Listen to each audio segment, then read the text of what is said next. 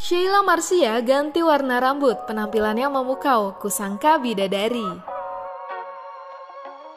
Penampilan Sheila Marcia akhir-akhir ini mencuri perhatian. Banyak yang menyanjung ibu empat anak ini makin cantik setelah menghapus tato di beberapa bagian tubuhnya.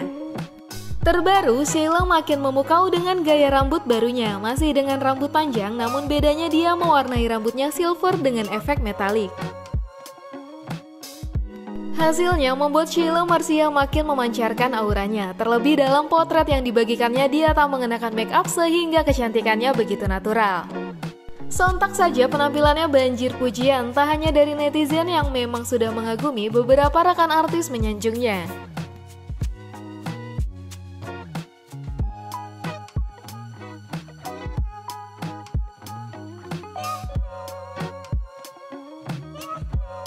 Gimana menurut kamu penampilan Sheila Marcia dengan warna rambut seperti itu?